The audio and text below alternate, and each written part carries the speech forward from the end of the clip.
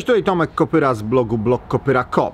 Eee, 1000 ibu, czy piwo podrożeje 4 razy w Polsce ze względu na globalne ocieplenie? Otóż, e, jak ktoś nie ma czasu, to yy, odpowiadam w najbliższym czasie, czyli myślę w ciągu najbliższych 10 lat, nie.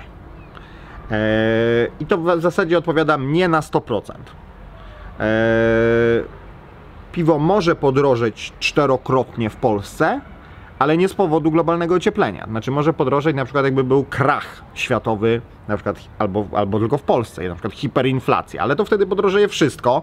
Więc de facto poziom e, cen piwa do ceny, nie wiem, chleba, wódki czy czego tamkolwiek innego będzie taki sam, czyli de facto nie podrożeje.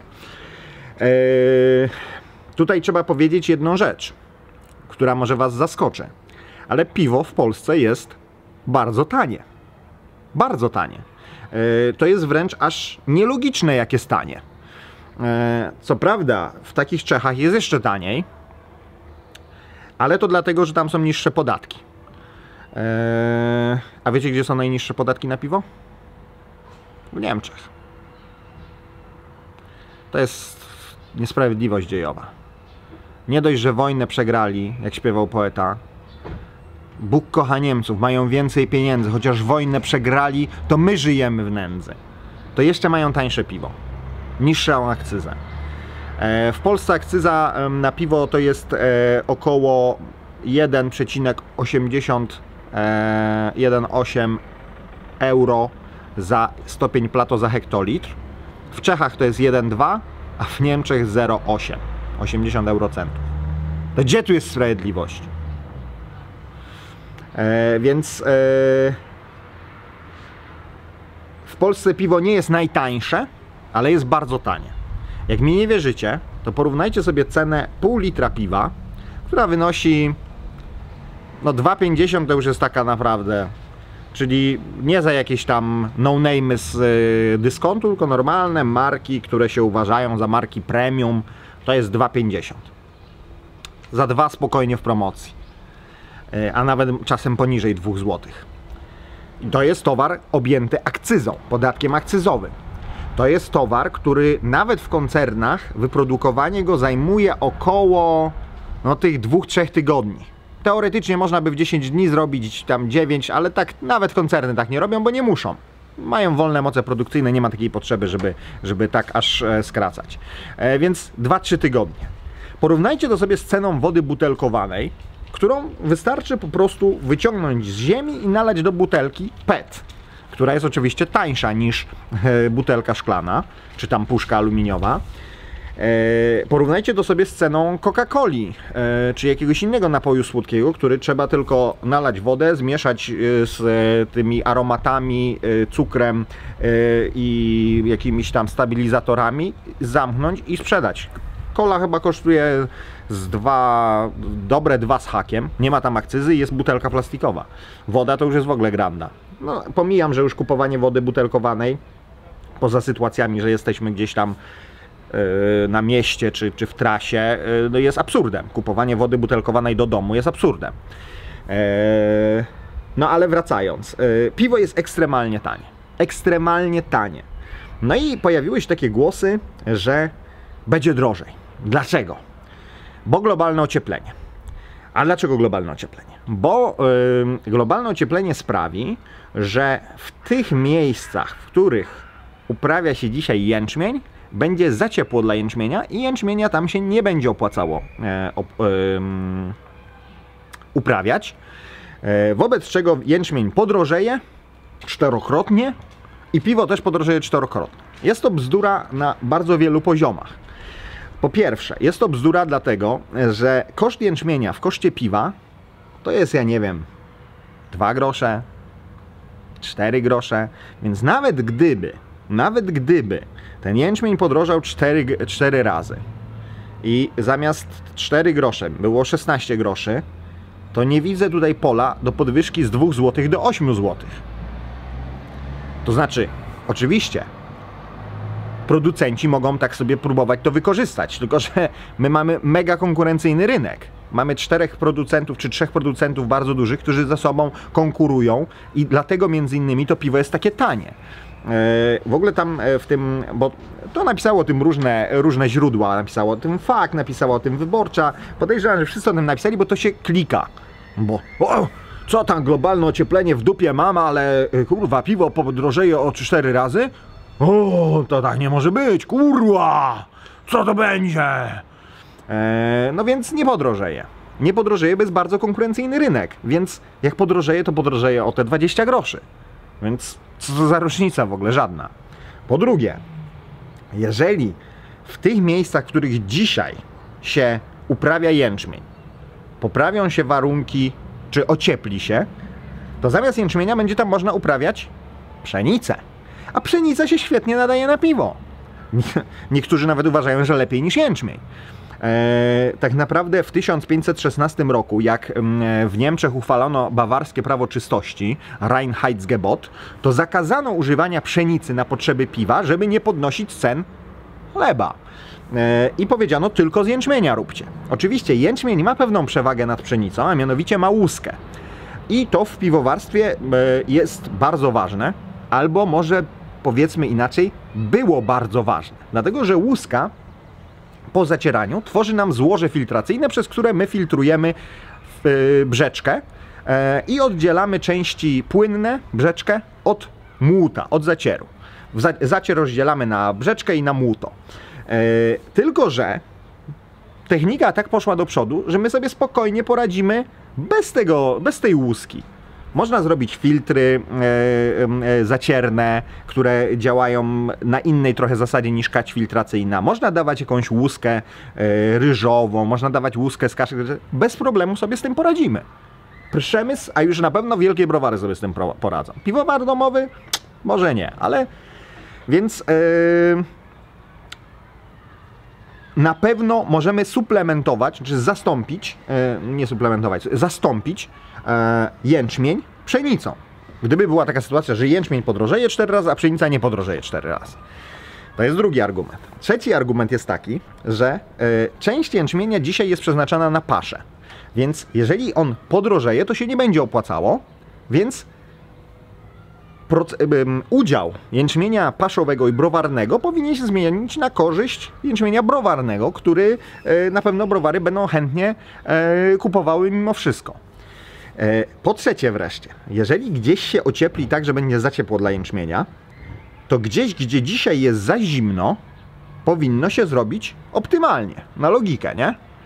Co prawda, no, na, na, na, daleko nie szukając, tak? Jeżeli w całej Europie e, typu e, ten, ten klimat umiarkowany, czyli Francja, e, Niemcy, Polska, tam Ukraina, gdzie się uprawia ten jęczmień, to będzie za ciepło dla jęczmienia, no to idąc na północ, czyli Rosja, może Szwecja, to tam powinny się zrobić idealne warunki dla jęczmienia.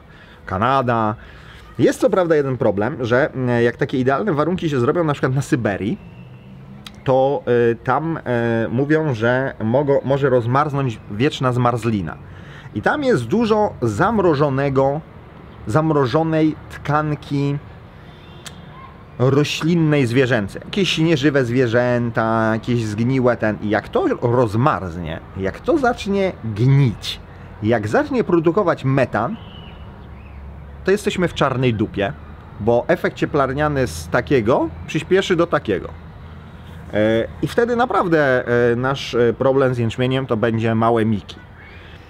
Dlaczego więc takie artykuły powstają? No właśnie myślę, że dlatego. Myślę, że dlatego, że e, jak się po, po, powie takiemu przeciętnemu e, Januszowi efekt cieplarniany, on mówi, kurwa, dobrze, że jest efekt cieplarniany, ciepło w październiku, mogę sobie gryla robić, e, wreszcie nad Bałtykiem ładna pogoda, to ja chcę taki efekt cieplarniany. No nie Janusz, to tak nie działa, niestety. E, więc e, myślę, że żeby trafić do Januszy, Johnów, e, Honzy i innych tam Helmutów, czy Johanów, no to wymyślono właśnie taki ten, że po, słuchajcie, nie będzie jęczmienia. I, I w tym momencie piwo podrożeje 4 razy. No nie podrożeje. Ale to nie znaczy, że globalne ocieplenie nie jest problemem. Notabene wiecie, gdzie globalne ocieplenie jest rzeczywiście problemem? Mianowicie jest problemem w produkcji lambików. Dlaczego? Dlatego, że e, e, lambiki, e, czyli piwa fermentacji spontanicznej, gdzie nie dodaje się drożdży, tylko łapie się drożdże z powietrza, e, nie można ich robić w lecie, dlatego że jest za dużo e, bakterii w powietrzu, dzikich drożdży, jakichś pleśni i po prostu takie piwo się psuje. Wobec czego trzeba to robić w zimie a w zasadzie od późnej jesieni do wczesnej wiosny. Wtedy są optymalne temperatury. Wtedy można wylewać to, tą, tę brzeczkę na te wielkie kadzie do schładzania, te, te tace chłodnicze, te, czyli tak zwane cold ship, cold ship. Ono tam sobie stygnie, szczepi się tymi drożdżami, e, przefermentowuje, wszystko jest pięknie. Niestety ten e, okres, w którym, to okienko, w którym można fermentować lambiki, się z każdym rokiem skraca, bo jesienie są coraz cieplejsze i coraz szybciej się kończą takie przedwiośnie.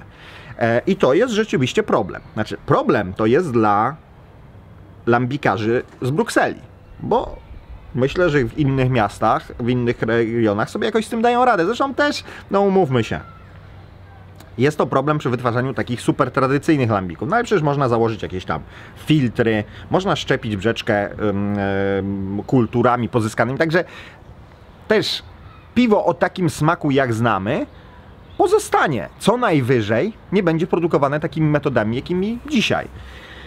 Yy, temat, yy, temat w ogóle yy, globalnego ocieplenia, czy w zasadzie powinno się nie mówić o globalnym ociepleniu, tylko o zmianach klimatu, bo to niekoniecznie zawsze oznacza ocieplenie, bo jest też taka teoria, że będzie ochłodzenie. Bo jeżeli się stopi bardzo dużo lodu na północy, na Arktyce, to na przykład może się zatrzymać Golfstrom. To jest taki prąd morski, który ogrzewa e, Europę. Jak on się zatrzyma, to u nas może być trochę chłodniej, bo nie będzie nas ogrzewał ten, ten e, ciepły prąd. Więc e, trudno powiedzieć. Fakt jest faktem, że zmiany zachodzą. Zmiany zachodzą dosyć gwałtowne. Te wszystkie. E, gwałtowne zjawiska pogodowe no, są tego dowodem. E, I mówię, to, że tam jęczmień podrożeje, to jest naprawdę najmniejszy problem. Większy problem to jest to, że na przykład e, warunki do życia w Afryce czy na Bliskim Wschodzie staną się nie do wytrzymania i ci ludzie gdzieś będą musieli szukać lepszego, e, lepszego świata. Mówi się, że wojna w Syrii jest e, w dużej mierze wojną spowodowaną przez zmiany klimatu, przez wieloletnią suszę. Więc e, nie bójcie się, piwo nie podrożeje, bo jest po prostu za duża konkurencja na rynku, jest za duża presja e, na mm, cenę, jest bardzo duże możliwości zastąpienia jęczmienia innymi zbożami, no nie, nie ma takiej opcji. Nie ma takiej opcji, żeby piwo podrożało cztery razy. No chyba, że rzeczywiście e, walnie e, coś w gospodarce i, i, i, będzie hiperinflacja i no to wtedy tak, ale to nie ma żadnego związku z tym jęczmieniem. Ehm, także keep calm, add more hops. No i jednak y, pomyślcie, bo, bo, ja myślę, że po to był ten artykuł, nie? Żeby tak, tak troszkę powiedzieć, kurwa, może jednak y, coś z tym globalnym ociepleniem jest, a nie, że o węgiel kurwa! No nie, no nie. Jest, jest, jest, jest problem. Mm. Mówi się, że najłatwiejszym sposobem na zatrzymanie byłoby przestawienie ludzkości na e, dietę wege. Bo y, hodowla zwierząt, szczególnie bydła, y, znaczy generuje bardzo duży efekt cieplarniany, Głównie przez to, że wycina się lasy, które mogą związać dwutlenek węgla, e, wycina się pod pastwiska. To jest główny powód. Ale oczywiście też krowy pierdzą, e, produkują metan. E, no i przede wszystkim są strasznie nieefektywne, nie? To znaczy taką soją, którą nie wiem czy się soją karmi, ale pewnie można karmić krowę, można nakarmić iluś ludzi. Więc raczej bym się spodziewał, że wołowina podrożeje niż, yy, niż piwo. Swoją drogą, e, jak się nad tym zastanowić tak ekologicznie, to akcyzą nie powinno być obłożone piwo, tylko kurka wołowina. Kogo stać, to kupuje, ale płaci podatek. Tak myślę. A co wy o tym myślicie? Boicie się, że piwo podrożeje? Czy że wołowina? Czy będzie trzeba przejść na wegę? Czy w ogóle to wszystko jest kłamstwo? Nie ma żadnego globalnego ocieplenia. A w ogóle to fajnie, że jest ciepło. Do usłyszenia. Cześć.